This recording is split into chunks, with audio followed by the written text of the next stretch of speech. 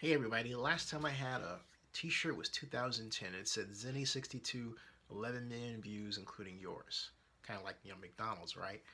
But it's time for another shirt. And I thought, what should it say? And it occurred to me that I have basically defended Oakland in all kinds of ways since, well, 2006. I have made videos about Oakland for the CNN YouTube Democratic debates. I've interviewed many people around town, scores of politicians, mayors, council persons, committee members, you name it.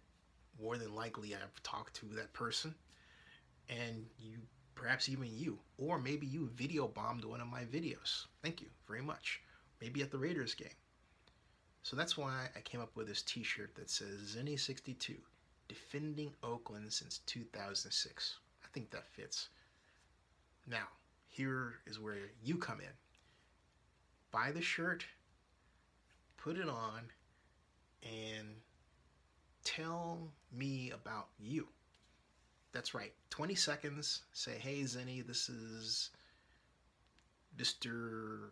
Potato Head, and I've got the shirt on, keep rocking the vlogs, something like that, whatever you want. Or hey, promote your product, whatever you want to do, but make it short. I don't mind. And it will go up to my YouTube channel. And if you live in Oakland, a special shout out to you as well. So please, help me start a movement of people talking about themselves and also defending the great city of Oakland, even if you don't live in Oakland.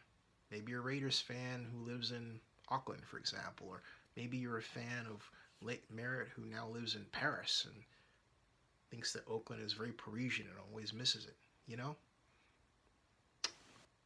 Let's give this a shot. Let's have some fun.